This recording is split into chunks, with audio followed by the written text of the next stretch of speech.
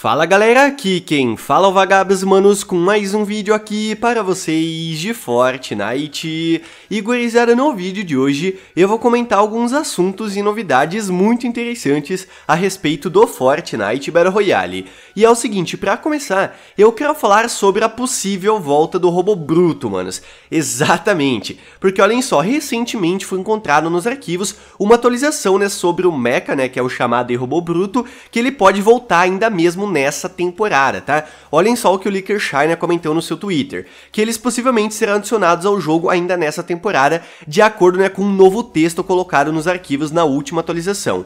No momento não se sabe se eles serão né, como eram antigamente, ou vai ser um novo tipo né, de robô, quem sabe, né, mais nerfado, alguma coisa assim. Porque olhem só, na última atualização foi colocado né, um texto nos arquivos do jogo chamado né, Mecha e tudo mais né, em relação ao robô, e a gente vai poder financiar, né? Tá escrito ali, Founding Station, que é aquelas estação né, de financiamento ali de armas, tá ligado? As famosas votações que apareceu, né, por exemplo, a votação do lançador de onda de choque versus a Fenda. Então o que a galera tá comentando, né, de acordo com esses vazamentos, vai ter uma votação no futuro aí da temporada envolvendo o robô bruto, manos, que ele vai estar, né, versus outro item. Só que o meu palpite é que se isso acontecer, com certeza o outro item vai ganhar, porque não tem como o robô voltar, tá ligado? Só se a galera votar por meme, né, mas eu acho difícil, já que quando o robô, né, tava no jogo, todo mundo odiava, então eu tenho quase certeza que se isso, né, de fato acontecer, ele vai estar, né, na votação, né, só por estar ali mesmo, né, porque possivelmente ele vai perder. Só que olhem só, manos, outra parada importantíssima é que pode ser que o outro item que vai estar, né, versus o robô robô na votação vai ser um item parecido com a lâmina do infinito. Eu não tô brincando, tá? Bom, quem jogou na época da lâmina e do robô bruto, né, sabe que foram os dois itens mais polêmicos de longe aí da história do Fortnite, né? A lâmina, por exemplo, ficou somente, né, um, dois, três dias, sei lá, no jogo e depois foi removido, né, porque a galera tava odiando, era muito apelão. Olhem só o que o Licker Hypex comentou no seu Twitter, que vai chegar uma nova foice Sideways. Se você não sabe, né, Sideways é como se fosse, né, o mundo dos robôs, dos robôs não, o mundo dos monstros do cubo, tá ligado? Aquela cúpula que tem no mapa, então, é como se fosse ali o mundo Sideways, tá ligado? Então vai ter uma foice, né, que pelo jeito vai ser encontrada só ali dentro da cúpula, que ela tá planejada para ter um ataque, né, semelhante ao da lâmina do infinito, mas que provavelmente não vai quebrar várias construções. Ele acha, né? Ele comentou que ele acha isso, então não é confirmado. Outras habilidades dessa foice é que quando você tá usando ela, ela tem um modo sifão, né? Tipo, quando você mata, você ganha vida. Manos, isso é muito apelão. Ela tem também né, o ataque charge e outro tipo de ataque chamado dash.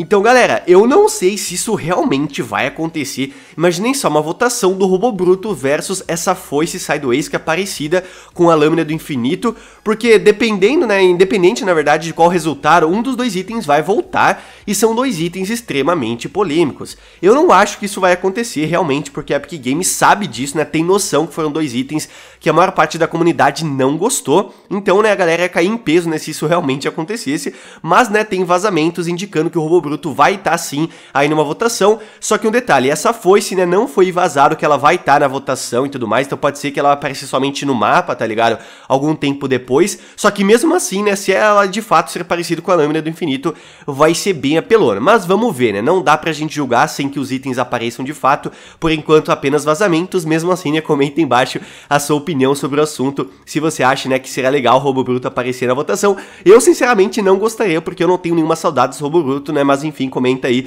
o que você acha disso. E manos, olhem só, outro assunto que eu quero comentar é sobre itens, né? Hoje é sábado, então hoje à noite possivelmente novos itens vão aparecer na loja. Por isso já tô mostrando na tela para vocês todos os itens que foram vazados, mas até o momento não chegaram no Fortnite, né? Quem sabe hoje à noite alguns deles apareçam por lá. E se você quiser comprar qualquer item me apoiando, eu ia ficar muito feliz mesmo se você usasse a tag Vagabito na loja. Como eu sempre falo, né? Você pode apoiar qualquer criador que você gosta bastante. E se você me escolher, eu ia ficar muito grato né, com o apoio que você ia estar tá dando aqui pro conteúdo, tá? E ainda aproveitando o assunto de skin, item e tudo mais, uma coisa que eu vi o pessoal comentando é sobre a versão Halloween da Renegade Rider, né? Que já foi vazada aqui na última atualização, que é essa skin é chamada Esqueletara, acho que é assim que se fala, é da raridade rara, né? Então vai ser lançada na loja, custando 1.200 V-Bucks. E o que o pessoal tá falando é que essa skin poderia ter um novo estilo para quem tem a skin da Renegade Rider original na conta, como se fosse um estilo OG, tá ligado? Como aconteceu, por exemplo, quando o Caveirão e a Zumbi, né, voltaram aí na loja do Fortnite no Halloween depois de muito tempo.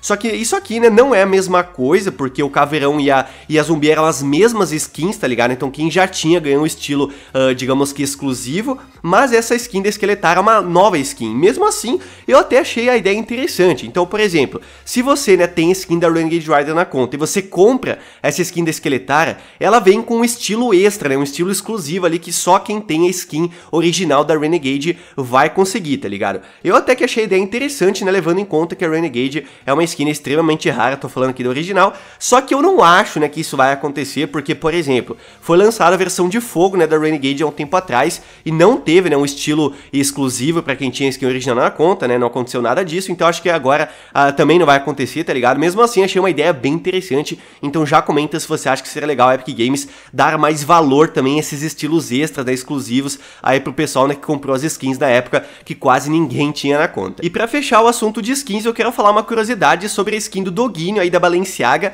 que eu tinha percebido logo que ele foi lançado, só que eu acabei esquecendo, então quero agradecer aos Zodes, que ele me relembrou, né, sobre isso no Twitter, que eu acabei, né, não falando aqui no canal, que é o seguinte, atrás da, do personagem, né, mostra ali, manos, uh, escrito via do varejo em todas as línguas que tem no Fortnite, achei uma parada bem da hora, né, então primeiro ali tem inglês, né, Retail Row, ali, né, tem Sklepoasariba, não faço a menor ideia de qual língua que é, Metrópole Mercantil, tem Ciudad Comércio, né, ali embaixo dá pra ver via do varejo, Peraquém de Pazari, Corso Comércio, acho que esse aí deve ser italiano, mas enfim, mano, tá aí, né, se você não tava ligado, se você não tinha percebido, só uma curiosidade a respeito, né, do doguinho aí todo estiloso que ele tem nessa referência via do varejo. E olhem só, manos, pra finalizar, lembrando, né, mais uma vez, que ainda tá acontecendo no evento aí, uh, Ondas Sonoras no modo Festa Royale, que você, né, pode participar ali um tempinho, né, e você consegue um spray gratuito. Lembrando que vai até amanhã, tá? Até amanhã às 3 horas da tarde, então se você não entrou no modo Festa Royale, se você tá querendo um spray gratuito, não perca essa chance, beleza?